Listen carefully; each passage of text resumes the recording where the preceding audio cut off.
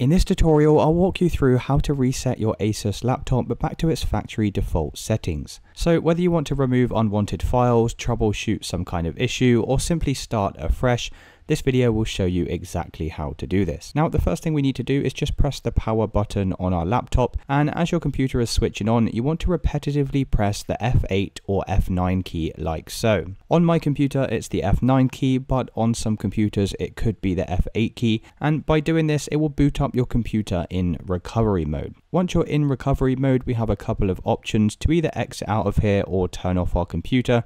But what we want to select is troubleshoot. From this menu, come over to reset this PC and then we'll have two options to either keep my files or remove everything. So if you select keep my files, this will perform a kind of soft reset on your PC where your apps and settings will be deleted, but your personal data like your photos and documents will remain unaffected. However, if you want to reset the PC so it's like starting afresh when you first bought it out the box, then you'll need to select remove everything. Now, before we do this, it's worth mentioning that you must back up any important data or files as resetting your laptop this way will remove everything from the hard drive and restore the software to how it was when you first bought it. So let's go ahead and select that. Then press local reinstall. Now just wait a few seconds while it gets things ready. Do you want to keep this PC set up for your workplace? Select no. Now this is as far as I'm going to go with it as I don't want to reset my PC right now.